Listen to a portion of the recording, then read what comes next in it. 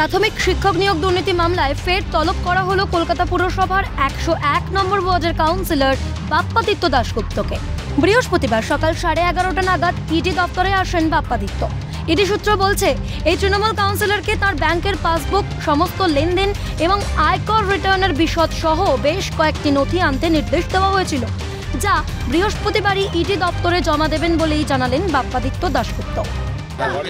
আজকে ওই income statement তারপরে তোমার আইটি রিটার্ন অ্যাসেটস লাইবিলিটিস এর ডিটেলস এই কাগজগুলো চেয়েছে, সেগুলো নিয়ে এসেছি।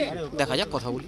কি কাগজ নিয়ে এসছো আমার আইটি রিটার্ন আছে বারো বছরের, আমার অ্যাসেটস লাইবিলিটিস রয়েছে। আর রয়েছে তোমার যা যা কাগজ চেয়েছিল ওরা। সেগুলো নিয়ে এসছে? সব সব নিয়ে এসেছি সেগুলো সেগুলো দিয়ে নিয়ে দেয় না আজকে জমা করে দেবো।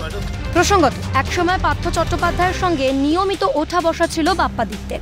সেই কারণে প্রাথমিক নিয়োগ মামলায় পার্থের ভূমিকা সম্পর্কে বাপ্পাদিত্য অনেকটাই জানেন বলে মনে করছে কেন্দ্রীয় তদন্তকারী সংস্থা ইডি। তবে পার্থর সঙ্গে ঘনিষ্ঠতার কারণেই তাকে তলব এমনটাই দাবি এদিন ইডির দপ্তরে হাজিরা দিতে আসা বাপ্পাদিত্যের। পাশাপাশি তার সাফ দাবি প্রাথমিক নিয়োগ দুর্নীতি মামলার সঙ্গে তার কোনো সম্পর্ক নেই। সেটা আমি জানি। ঘনিষ্ঠ বারবার- ঘনিষ্ঠ হয়তো সেই কারণে নিচে নামাও সেই জন্যই কি বারবার ডাকা হচ্ছে? হয়তো হতে পারে। আজ হ্যাঁ যে চিঠিটা দিয়েছে তাতে যে কেস নাম্বার রয়েছে সেটা প্রাথমিক দুর্নীতির মামলাই রয়েছে। যদিও প্রাথমিকের সাথে আমার কোনো যোগাযোগ নেই। আগেও বলেছিলাম এবং সিবিআই যখন আমার বাড়ি রেড করেছিল তখন যে কয়েকটা ইয়ে পেয়েছিল অ্যাডমিট কার্ড পেয়েছিল একটাও প্রাথমিকের ছিল না। তবে গত বছর প্রাথমিক নিয়োগ দুর্নীতি মামলার তদন্তে নেমে কাউন্সিলর বাপ্পাদিত্য দাশগুপ্তর বাড়িতে উদ্ধার হয় প্রাথমিক নিয়োগ সংক্রান্ত এবং এসএসসি নিয়োগ সংক্রান্ত একাধিক নথি।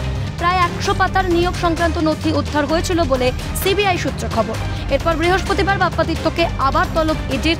এ বিষয়ে জল কতদূর গড়ায় এখন সেটাই দেখার। শুভজিৎ দে এবং শুভদীপ মান্নার রিপোর্ট, ক্যালকাটা নিউজ।